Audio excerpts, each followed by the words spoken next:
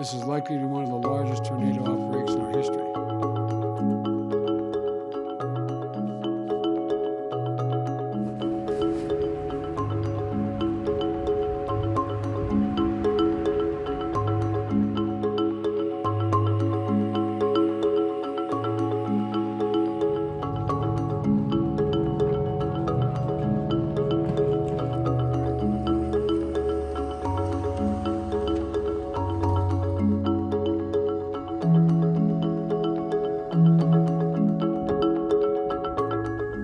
It's horrible. It's definition of hell on earth.